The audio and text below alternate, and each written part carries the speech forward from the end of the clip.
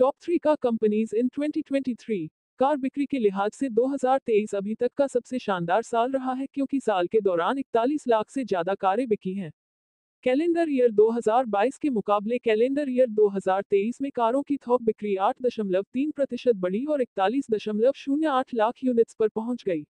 ऐसा तब हुआ जब बीते साल 2023 में व्हीकल्स की एवरेज कीमत बढ़कर 11.5 लाख रुपए पर पहुँच गई। जो साल 2022 में 10.58 लाख रुपए थी। खैर, चलिए, आपको साल के दौरान सबसे ज़्यादा कारें बेचने वाली तीन कंपनियों के बारे में बताते हैं। इनमें मारुति टॉप पर है।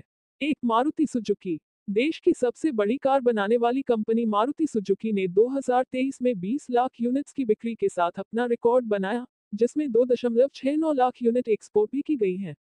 कंपनी ने इसमें 7.76 लाख यूनिट्स के साथ ग्रामीण बाज़ार में सबसे ज़्यादा बिक्री दर्ज की है। औसतन मारुति सुजुकी ने हर महीने एक दशमलव पाँच लाख से ज़्यादा कारें बेची हैं और पूरे साल में कुल 20 लाख से ज़्यादा गाड़ियाँ बेची हैं। इसके बाद दूसरे नंबर हुंडई है, जिसकी पूरी साल में इसके मुकाबले आधे से भी कम यूनिट बिकी हैं।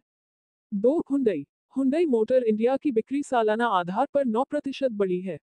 इसने 2023 में कुल सात लाख पैंसठ हज़ार सात सौ छियासी यूनिट्स बेची हैं, जबकि 2022 में इसकी कुल बिक्री सात लाख आठ सौ ग्यारह यूनिट ही थी। 2023 में इसने छह लाख दो हज़ार एक सौ ग्यारह यूनिट्स घरेलू बाज़ार में बेची हैं।